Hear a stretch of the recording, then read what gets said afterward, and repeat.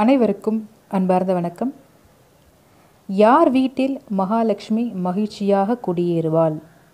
அதாவது ஒரு வீடு எப்படி எவ்வாறாக இருந்தால் அந்த வீட்டில் மகாலட்சுமி என்பவள் மகிழ்ச்சியாக இருப்பாள் அப்படின்றத பற்றி நம்ம எல்லாரும் தெரிஞ்சுக்கணும். நிஜமாவே ஒரு வீடு அப்படின்னு இருந்தால் அதுக்கான ஒரு மரியாதையோடு வீட்டில் இருப்பவர்கள் நடந்து கொண்டாலும் வீட்டை நாம் கவனிக்கும் விதத்திலும் வீட்டிற்கு வருபவர்களை நாம் கவனிக்கும் விதத்திலும் தான் அந்த மகாலட்சுமியின் மன நிம்மதியும் அமைதியும் இருக்கு. இப்படி இருக்கப்பட்ட வீட்டில் மட்டுமே மகாலட்சுமியின் வாசம் என்றும் நிரந்தரமாக இருக்கும். உங்கள் அனைவருக்கும் அது பற்றிய ஒரு சிறிய விளக்கம் என்னால் முடிந்தவரை மகாலட்சுமி யார் வீட்டில் மகிழ்ச்சியாக இருப்பாள்? ஒவ்வொரு வீட்டிலும் பெண்கள் மகிழ்ச்சியாக எப்பொழுதும் சிரித்துக்கொண்டே இருந்தால்தான் அந்த வீட்டில் மகாலட்சுமியும் நிரந்தரமாக குடியேறுவாள்.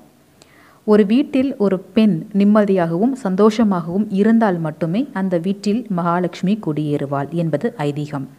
சரி அப்படி குடியேறிய மகாலட்சுமியை நிரந்தரமாக நமது வீட்டிலேயே தங்க வைக்க என்னென்னவெல்லாம் செய்யலாம்? எத்தனை வழிமுறைகள் தான் உள்ளது? அப்படின்னு தான் இந்த பதிவில் நம்ம பார்க்க போகிறோம் அதாவது உங்கள் வீட்டில் துளசி மாடம் இருந்தது அப்படின்னா துளசி மாடத்தை மறக்காமல் விளக்கு ஏற்றி மூணு முறை சுற்றி வலம் வர வேண்டும். அடுத்ததாக ராமநாமம் உச்சரித்தால் அந்த இடத்திற்கு அனுமன் தேடி வருவார் என்பது ஐதீகம்.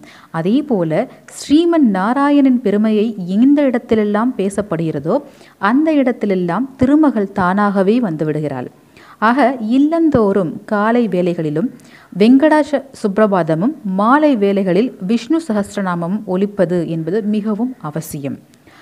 சில வீடுகளில் மாலை வேளையில் கந்தசஷ்டி கவசம் நாம் பாராயணம் செய்வோம். அதுவும் நன்று.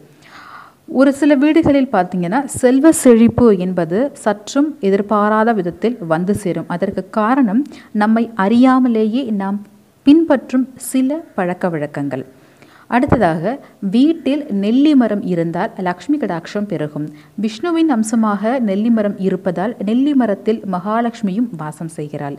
நெல்லிக்கனிக்கு ஹரிபலம் என்ற பெயரும் உண்டு. லக்ஷ்மி குபேரருக்கு உரிய மரமாகவும் இந்த நெல்லி மரம் திகழ்கின்றது. நெல்லி மரம் இருக்கும் வீட்டில் தெய்வீக அருள் நிறைந்திருக்கும்.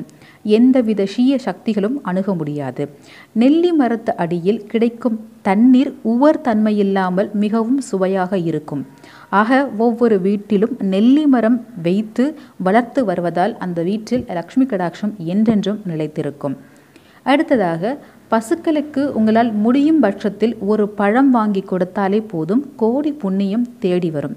தினசரி உங்களால் முடிந்தால் உங்களுக்கு தெரிந்த பசுக்கள் இருந்தால் அதற்கு தினசரி தீவனம் அளித்தாலும் செல்வம் பெருகும். பசுக்களிடம் குபேரன் குடிக்கொண்டிருக்கிறார். கோமாதா பூஜை குபேர பூஜைக்கு சமமாகும். ஆக முடிந்தளவுக்கு கோமாதா பூஜையையும் உங்கள் வீட்டில் செய்ய முடியும் வாய்ப்பு இருந்தால் தாராளமாக செய்யலாம். அடுத்ததாக சங்கு நெல்லிக்காய் பசுச்சாணம் கோஜலம் தாமரைப்பூ சுத்தமான ஆடைகள் வீட்டில் இருப்பதும் சுபம். மகாலட்சுமியும் அந்த உத்தமமான ஆடைகளில் குடியிருப்பாள். காலை எழுந்தவுடன் நீங்கள் உங்கள் உள்ளங்கைகளையும் அல்லது கோவில் கோபுரத்தையோ அல்லது பசுக்களையோ அல்லது இறைவனின் திருவுருவ படத்தையோ பார்க்க வேண்டும். வீட்டில் சண்டை சச்சரவு இருக்கவே கூடாது. அமங்கல சொற்களும் பேசக்கூடாது. எந்த வீட்டில் சாப்பாட்டிற்கு ருசியாக ஊர்காய் என்றென்றும் இருக்கிறதோ அந்த வீட்டில் மகாலட்சுமி என்றும் குடியிருப்பார் குபேரனும் சேர்ந்து குடியிருப்பார். அதாவது குபேரனுக்கு மிகவும் பிடித்தது ஊறுகாய் மிகவும் பிரியமானதும் கூட.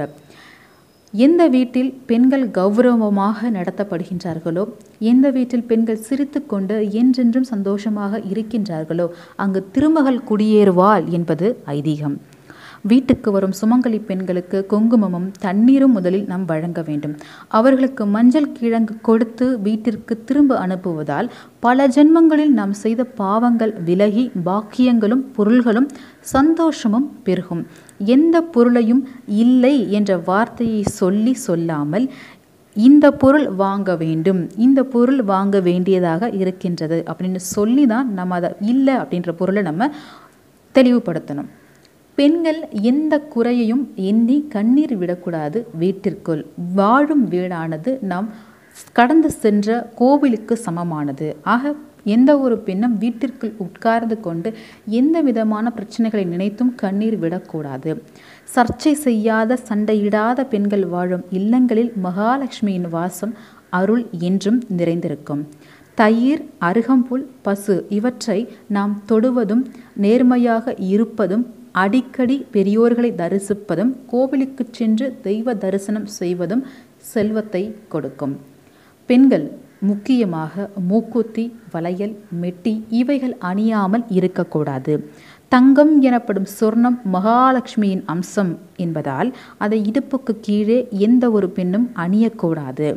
பெண்கள் மாதவிடாய் உற்றிருக்கும் சமயத்தில் அவர்களது நிழல் கூட சுவாமி படங்கள் மீது விழக்கூடாது. குழந்தைகளிடமும் வயதானவர்களிடமும் நோயாளிகளிடமும் கோபத்தை காட்டக்கூடாது.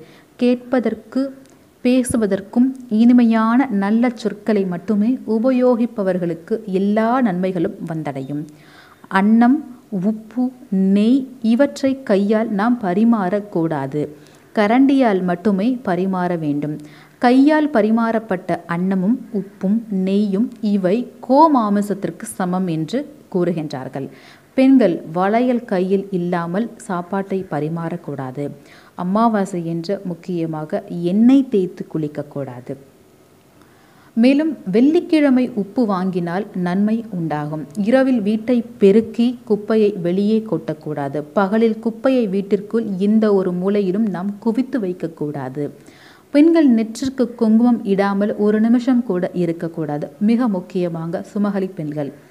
விளக்கு ஏற்றிய பிறகு பாலோ தயிரோ உப்போ ஊசியோ இவற்றை பிறருக்கு நாம் தானமாக கொடுக்கக்கூடாது. விருந்தினர் போன பிறகு வீட்டை கழுவி சுத்தப்படுத்தக்கூடாது. மருமகள் ஊருக்கு சென்றுவிட்டால் என் சந்தோஷத்தில் வடையோ கேசரியோ செய்து வீட்டில் உண்டு சந்தோஷப்படக்கூடாது.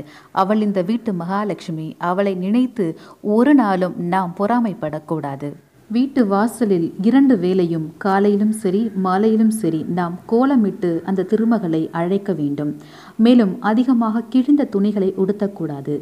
நகத்தை கிள்ளி வீட்டில் போட்டால் தரித்திரம் உண்டாகும். பெண்கள் தலைவிரி கோலத்துடன் காட்சியளிப்பதும் கூடாது. சாம்பிராணி உள்ளிட்ட நறுமணப் பொருள்களை அடிக்கடி வீட்டில் நாம் உபயோகிக்க வேண்டும். ஈர துணி அணிந்து பூஜை செய்யக்கூடாது கோவிலுக்கும் செல்லக்கூடாது. மேலும் பணம் நாணயம் உள்ளிட்டவைகளை கண்ட கண்ட இடத்தில் வைக்கக்கூடாது. வெற்றிலை வாழை இலை இவைகளை வாடவிடவும் கூடாது. வெற்றிலையை தரையில் வைத்து வழிபடக்கூடாது. சுண்ணாம்பு இல்லாமல் வெற்றிலையை போடக்கூடாது. பிரம்மச்சாரிகள் தாம்பூலம் போடக்கூடாது.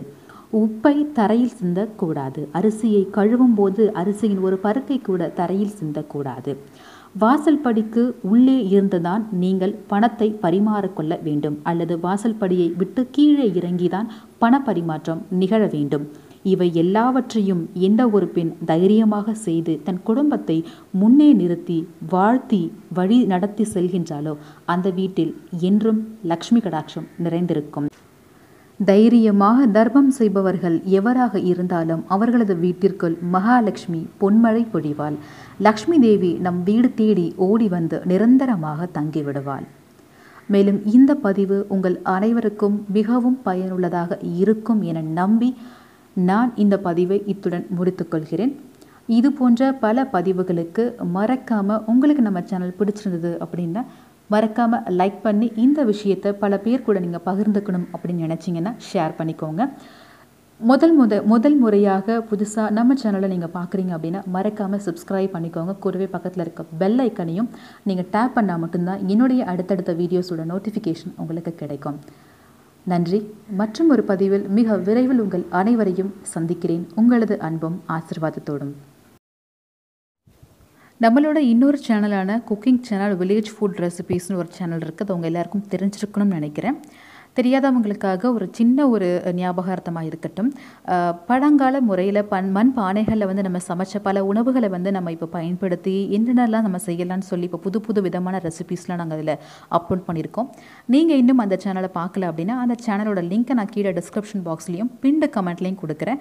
அந்த சேனலை நீங்கள் செக் பண்ணி பாருங்கள் உங்களுக்கு பிடிச்சிருந்த மட்டத்தில் நீங்கள் அந்த சேனலை சப்ஸ்கிரைப் பண்ணி அந்த சேனலுக்கு உங்களோட சப்போர்ட்டை நீங்கள் மனமாற கொடுக்கணும் அப்படின்னு சொல்லி உங்களை கேட்டுக்கிறேன். முழுக்க முழுக்க வித்தியாசமான சமையலோட மண் பானையில் உங்களுக்காக பலவிதமான ரெசிபீஸ்லாம் காத்திருக்கு. அது மட்டும் இல்லாமல் சமையல் அறையில் உங்களுக்கு தேவையான பலவிதமான சந்தேகங்களுக்கும் அந்த சேனலில் பல கேள்விகளுக்கும் பதில்களும் இருக்கும். நன்றி.